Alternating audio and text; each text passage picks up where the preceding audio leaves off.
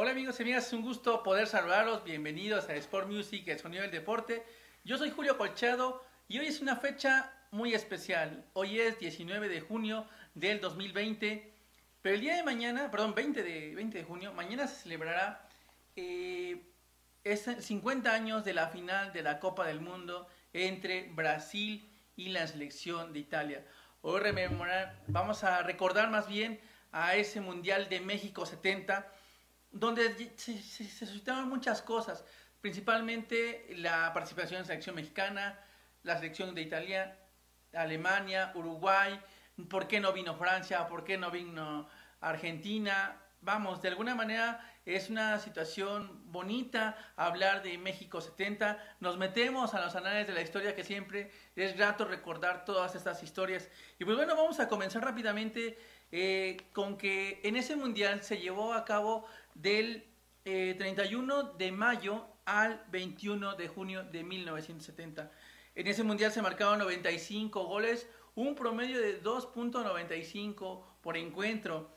Se participaron 275 jugadores, de lo cual fíjense, la selección de Bulgaria utilizó 20 jugadores lo que hasta el 2018, como criticamos a Juan Carlos Osorio, la selección búlgara hizo 20 cambios. Imagínense, rotar a todos los jugadores para que participaran de los 23, 20 jugadores. Bélgica fue el, que, el conjunto que menos utilizó, solamente a 13. Y bueno, fueron 22 días de participación. Todo comenzó el 31 de mayo en la cancha del Estadio Azteca en un partido con el anfitrión México, empatando a cero goles contra la URSS y la final el 21 de junio en este, también en el Estadio Azteca con la victoria de 4-1 sobre Brasil. Pasaron muchas cosas. La, la, fue la última vez que se disputó el trofeo Jules Rimet. Brasil, eh, había una ley escrita que el que obtuviera tres copas del mundo se quedaba con la copa. En este caso, Brasil la ganó en 1958, 1962 y 1972 le daba el derecho ya de conservar la copa. Como actualmente hoy conocemos, se le daban réplicas, pero Brasil se quedó con la copa original que posteriormente ya se perdió, la encontraron en Inglaterra, la regresaron y bueno, ahí la tiene Brasil. En la Federación Brasileña tienen esa réplica. Eh, también eh, la primera vez que se utilizaron cambios, dos si querían cambiar los, las escuadras, lo podían hacer. Actualmente son cinco, pero en aquella ocasión eran solamente dos. La primera vez que utilizaron tarjetas amarillas. Eh, el, nombre del ruso lo debo, es difícil la pronunciación, pero el primer mexicano que amonestaban fue Gustavo el Halcón Peña en ese partido de México contra Rusia. Eh, también se batió un récord, o se implantó un récord que hasta la fecha sigue vigente. Pelé y Julen líder de Alemania han marcado cuatro tantos en cuatro distintos mundiales. Suecia 58, Chile 62, Inglaterra 66 y México 70. Pelé y Uwe Siller son los que anotaron en cuatro mundiales, cuatro tantos o más. Eh, bueno, de alguna manera también vamos a comentar cómo fueron los, eh, los grupos. En el grupo A, Rusia estaba México, Bélgica y El Salvador. En el grupo B, Italia, estaba Uruguay, Suecia e Israel. En el grupo C estaba Brasil, Inglaterra, Rumania y Checoslovaquia. Y en el grupo D estaba Alemania Federal, Perú, Bulgaria, Marruecos. Eso fue cómo se conformaron los eh, equipos.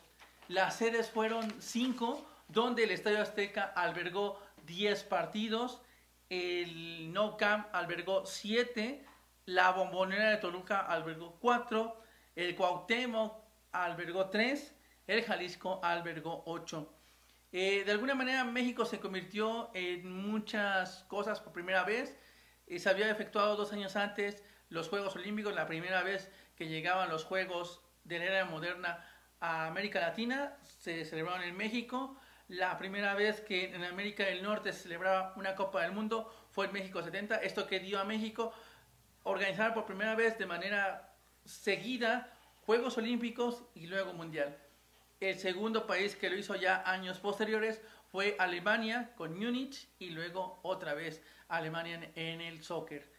Bueno, Gerd Müller, Gerd Müller marcó 10 goles en esta en, esta, en este mundial, el bombardero alemán, que cuatro años después ya se consagró campeón del mundo, quedó en tercer lugar del mundo, pero campeón de goleo. Eh, Mario Lobo Zagalo eh, se convirtió en el primer eh, jugador y posteriormente entrenador en ganar Copas del Mundo. Después lo Frank Beckenbauer y después Didier Deschamps. Pero el primero fue Mario Lobo Zagalo, que en 1958 gana como jugador y también en 1962 en Chile como jugador y en México 70 ya como entrenador de la selección. Nos contaba por don Alejandro Dante que Mario Lobo Zagalo no iba a ser el técnico, que había otro, otra persona que después fue periodista pero eh, Mario Lobo Zagalo entró al quite para levantar la Copa del Mundo. También Jairzinho fue quien de alguna manera eh, marcó seis tantos en seis partidos, bueno en realidad marcó siete, pero uno por encuentro, eh, marcó en el Brasil 27-4-1 Checoslovaquia, luego 1-0 contra Inglaterra, Brasil 3-2 contra Rumania, Brasil 4-2 contra Perú, también Brasil 3-1 contra eh, eh, Uruguay y también Brasil 4-1 contra Italia en la final. Desde 1970 Adidas es el patrocinador de lo que son los valores, el balón Telsar, por ese nombre al satélite, pero ahí le quisieron poner este nombre. Eh, también en 1964, seis años antes de esta, del inicio de esta Copa del Mundo, se, se llevó a cabo el Congreso de la FIFA en Tokio, allá en Japón, donde México derrota nuevamente a, Argentina para eh, tener la sede de la Copa del Mundo. ¿Por qué lo digo esto? Porque un año antes en Baden-Baden, en Alemania, México derrotó tanto a León como a Detroit y como a Buenos Aires. Era la segunda vez que la, capital mexicana vencía a la capital bonaerense. De alguna manera, México tenía una agitatura para darles ese cobijo, porque la economía crecía un 8% y era preponderante México en ese momento, celebrando Juegos Olímpicos y posteriormente Mundial. También fue el primer Mundial donde se transmitió a color y bueno, ya el satélite, como dijimos, era Telsar, por eso el nombre del balón de ahí viene. Y hubo por primera vez eh, el mexicano eh, árbitro Diego de León, fue eh, juez central por primera ocasión en el partido de Inglaterra contra Rumania, donde Inglaterra vence 1 por 0. Rumania también contra Checoslovaquia, ahí fue el asistente. Pero entonces Diego de León fue el primer eh, árbitro central que pitó para México en una Copa del Mundo, siendo aquí en casa. Abel Aguilar también tuvo dos asistencias en el partido entre Perú contra Bulgaria, el juez asistente, y también en el tercer lugar de Alemania contra Uruguay, ya juez central, Alemania contra Perú. Pero bueno, ahí están muchas cosas. De alguna manera también vemos como eh, imágenes que seguramente van a estar pasando mis compañeros, veremos a eh, Franz Beckenbauer, donde eh, se ve como en el partido del siglo sale, le cometen un penal en los últimos minutos del partido, una falta, más bien que no le marcaban penal contra Italia y se rompe una de las clavículas. El partido jugó todo lo que son los tiempos suplementarios con la clavícula rota. Y tendremos también lo que son las alineaciones. Digo, la verdad que uno se mete en los anales de la historia y le traemos completo el plantel de México, los 23 que estuvieron en aquella ocasión. Ignacio Calderón de Guadalajara era el portero titular de México.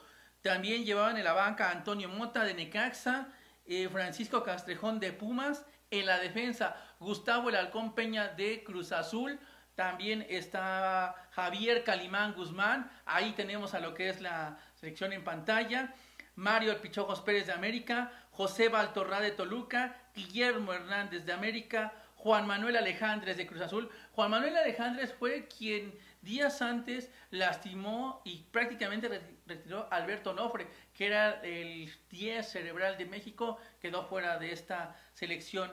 Francisco Montes de Veracruz, en la media cancha estaba Héctor Pulido de Cruz Azul, Antonio Mujía de Cruz Azul, José Luis González y Mario Velarde de Pumas, Isidoro Díaz de León y los delanteros, la verdad que fue genial, Javier Fragoso de América, Javier Valdivia de Guadalajara en paz descanse Aarón Padilla, que murió el domingo pasado. Eh, José Jaime López Enrique Borja de América, Juan Ignacio Basaguren de Atlante, Horacio López Algodano y Marco Rivas de Atlante, este mugrosito de Atlante, porque así le decían el mugrosito a Marco Rivas, y director técnico el señor Raúl Cárdenas, que posteriormente fue baluarte en la selección eh, mexicana y sobre todo en la máquina celeste de Cruz Azul.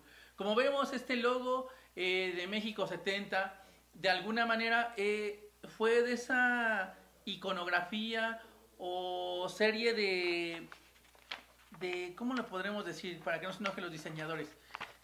Iconografía que se agarró después de México 68, se agarraron también eh, este mismo personaje que hizo toda la que es iconografía del metro de la Ciudad de México, lo tenemos también actualmente en el logo de México 70. Pero sobre todo hay partidos que no se, no se nos van ni nunca de la mente. Por ejemplo, aunque yo no pude observarlo porque todavía ni nacía, pero eh, vemos en imágenes, podemos observar el partido del siglo donde Alemania se enfrentaba a Italia, el triunfo de Italia, cuatro goles por tres. Eh, y aquí tenemos las alineaciones de ese partido, Albertosi, Bucci, Cera, Ronato, Fargetti, Berti, Domancena, Mazzola, Citi, Giva, Bonicena. Eso fue por parte del conjunto italiano y fue un 17 de junio en la cancha del Estadio Azteca. Por parte de Alemania, Sedmayer, Scheller, Franz Beckenbauer, Scholl, Packer, Lower, Bertie Fox, Seller, Warren, Grasnowski, Müller y Schorer. La verdad que aquí fueron los goles de Bonicena al minuto 8 y ya prácticamente las postrimerías del partido al minuto 90 Schiller mete el 1 a 1. Fue la primera vez que un partido se iba a tiempo extra con eso el conjunto de, Alemania con Gerd Müller se va eh, al frente 2 a 1 al minuto 94. Cuatro minutos después, al minuto 98, Burnich empata el marcador a 2. Y después, al minuto 104, Riva marca el 3 goles por 2. Y la que es la placa que está en la cancha del Estadio Azteca, bueno, afuera en uno de los túneles, si no mal recuerdo, está en el túnel entre el 4 y el 8. En el 4 es el túnel Alfredo Tena y el 8 es el túnel 8 eh, Carlos Reynoso. Entre esa parte está la placa del Estadio Azteca donde dice eh, partido del siglo 17 de junio de 1970, protagonistas Italia 4, Alemania 3. El juez central era este, Arturo Yamazaki, en paz descanse, pero fue el juez central. De alguna manera era mexicano, nacionalizado, pero bueno, sabemos que era pero ahí estaba Arturo Yamazaki. Fue, como decimos, iban 3-2, después Jerry Müller mete el 3-3 y en, el, en los últimos minutos ya para terminar, Gianni Rivera mete el 4 goles por 3, con eso avanzaban a la final el conjunto italiano.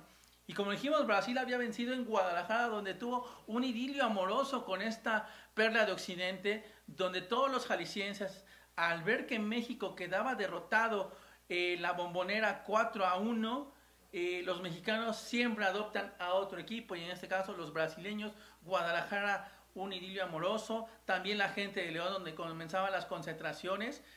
Y bueno, ahí tenemos algunas imágenes donde Brasil vencía a Perú, que Perú de Teófilo Cubillas, que de alguna manera marcó cinco tantos.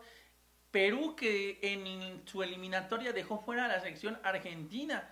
Imagínense, Argentina no vino a ese mundial, posteriormente ya fue campeón del mundo.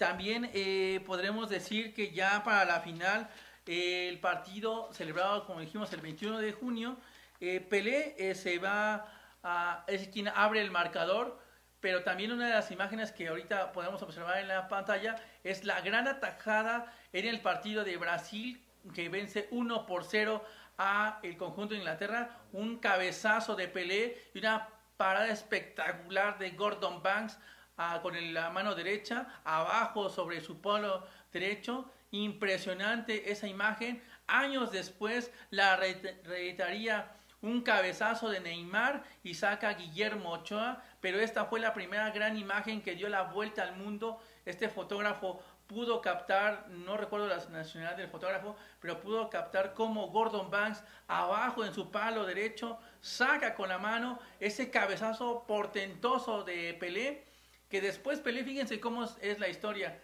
Eh, como dijimos, Italia deja fuera a México, México se vuelca a la cancha del Estadio Azteca la afición para eh, después tener el 1 por 0 de Pelé, un centro por la banda de la izquierda y rematar Pelé y vencer al portero italiano. Después, al minuto 38, Bonincena empata 1 a 1. Eso fue lo más importante de la primera mitad. Ya en la segunda mitad, al minuto 66, un riflazo desde fuera del área, desde la zona izquierda, clavando en el ángulo superior izquierdo, venciendo al portero italiano. Gerson marca el 2 por 1. Al minuto 71, Jairzinho el 3 a 1. Y ya en el minuto 86, lo que es un pase de Pelé, viene por la banda de la derecha. Eh, Carlos Alberto, el gol del presidente, y vemos en las imágenes festejando a Pelé, a Tostao. Pero vamos a decir rápidamente la alineación de ese partido de la selección de eh, eh, Brasil. Félix, lo que es Everaldo, Piazza, Brito, Carlos Alberto. Ese era el, portero y la defensa. En la media estaba Gerson, Clodoaldo, Rivelino adelante, Pelé, Tostao y Jairzinho. Vaya que era el primer duelo donde el conjunto brasileño, yo me atrevo a decir que viendo imágenes, todo lo que hemos podido investigar, fue el primer gran Dream Team que hubo en una Copa del Mundo. También la selección italiana no se quedaba atrás, estuvo Albertosi, Burni, Rosato, Cera, Facchetti, eso era la defensa central, adelante estaba Berti, adelante yo estaba Mazzola, ya por los que estaba de City, Domenic, Bonincegna arriba y Gianni Riva. De alguna manera fue un eh, mundial donde, por donde lo vean amigos, 16 participantes, 32 encuentros, fue muy interesante, sobre todo por ver equipos como Inglaterra, que es el campeón vigente, tuvo su revancha el conjunto eh, inglés, perdón, alemán, porque en la final de la Copa del Mundo de Inglaterra en 1966, los alemanes cayeron en Inglaterra con el, país anfitrión. Bueno, entonces vamos a recordar cómo fueron los cuartos de final. Uruguay vence 1 por 0 a la Unión Soviética. Italia vence 4-1 a México. Le dolió a México porque los organizadores nunca pensaban que la selección iba a salir del Estadio Azteca. Se fueron a jugar a la bombonera y le jugó en contra la, la altitud a la selección mexicana. Se adaptó muy bien los italianos. En otro partido, Brasil vence 4-2 a Perú, donde teníamos imágenes, y Alemania 3-2 a Inglaterra. Ahí de alguna manera se cobraban esa afrenta que tuvieron. Y bueno, la cancha del Estadio Azteca se veía pletórica para lo que fueron la semifinal, como dijimos, el partido del siglo entre Italia y Alemania, donde está una placa. Y en el Estadio Jalisco, 3 a 1 Uruguay. Y a la final, como dijimos, Brasil vence 4 a 1. Con esto, Brasil se convertía en la potencia del fútbol. En 12 años había conseguido tres Copas del Mundo. No sabemos qué hubiera pasado en 1966, pero de ser así, creo que Brasil hubiera tenido eh, cuatro campeonatos, pero el hubiera no existe. Brasil en esos 12 años obtuvo tres títulos en tres finales. Y bueno, ya para ese entonces, lo que es Brasil ya había jugado hasta 1970 cuatro finales, la derrota en 1950 en casa contra Uruguay, después ganando en el 58 5 eh, por 2 a Suecia, le ganó al local, después vence en Chile 3 a 1 a Checoslovaquia y en México 70 a la selección italiana. De alguna manera, eh, la gente que lo vivió, eh, este México 70, era otro, otro país, se acababa un año antes, en 1969, inaugurar el metro de la Ciudad de México.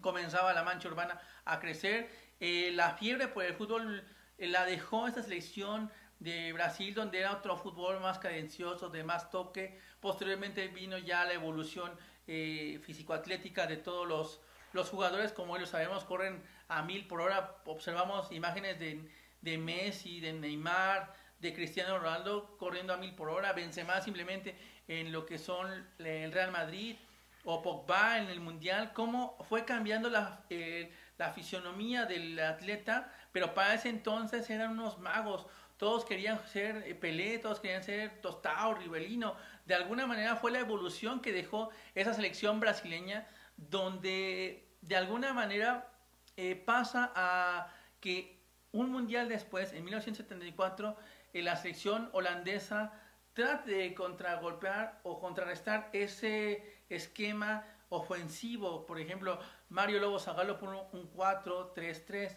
Después ya viene eh, la naranja mecánica y hace más movimientos, un fútbol más vertical, pero más vertiginoso, más velocidad, sobre todo más toques y más cambios de posiciones. En México 70 era una formación tradicional, los cuatro defensas, el portero, tres medios, pero a la vez eran cuatro delanteros, porque ahí como lo podemos ver en lo que es la, la alineación de Brasil, Rivelino era medio, pero después se agregaba a lo que es el, ataque. Y bueno, pletórico el Estadio Azteca en aquel 21 de junio, lleno hasta las lámparas, 107 mil aficionados, la verdad es algo que no podremos ver.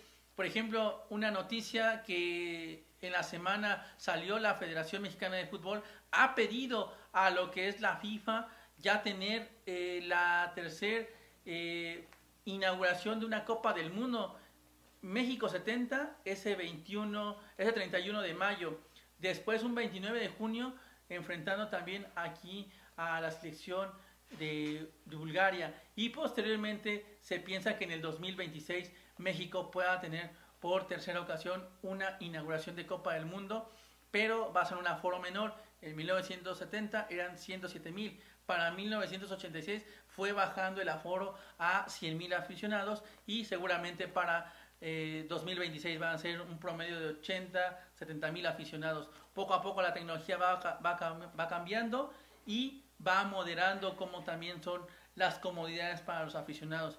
Indudablemente, hablar de México 70 es meternos, es investigar, es eh, recabar datos con eh, toda la gente que de alguna manera lo vivió. Nos decía don Alejandro Dante, toda la gente que veía, por ejemplo, a Müller, que veía a este, Franz Beckenbauer, que era un elegantísimo eh, defensa central, pero también era el primer gran líbero. Veíamos a Rivelino, veíamos a Jenny Rivera entrar en segundo, a Teófilo Cubillas, veíamos a Bobby Charlton, a Gordon Banks, poníamos a, a Sepp Mayer por ahí. Veíamos a muchos jugadores que de alguna manera se nos quedan para la posteridad y sobre todo ver cómo iba evolucionando de 1966 a 1970 y después la revolución total con la naranja mecánica cuatro años después. De alguna manera es un gusto poder extraer a todos ustedes amigos toda esta información que de alguna manera nos apasiona porque observamos cómo la selección mexicana quedó por primera ocasión en sexto lugar en una Copa del Mundo, algo que jamás se pensaba para ese entonces. Hoy actual México, actualmente la selección mexicana avanza a la siguiente fase se queda en esa siguiente fase, no ha podido llegar al quinto partido, pero sí en México, tanto en 1976 como en 1986, quedó en sexto lugar en ambas ediciones. Vamos a ver si más adelante ya la selección mexicana, que no piense en cosas fregonas los jugadores y que se pongan a jugar, este, hacen cosas interesantes. Amigos, la verdad que fue un placer tener toda esta información para ustedes. Eh, agradecemos aquí a toda la gente, a Lalo Llamas, nuestro head coach, a Roy, nuestro productor, a también la colaboración de Gustavo Herrera, eh, don Alejandro Juárez, que ellos de alguna manera haciéndoles preguntas pude obtener más información. Yo soy Julio Colchado, amigos, y la próxima semana tenemos una cita aquí en Sport Music a través de Orbit Network y que tengan un gran día. Gracias. Hasta luego.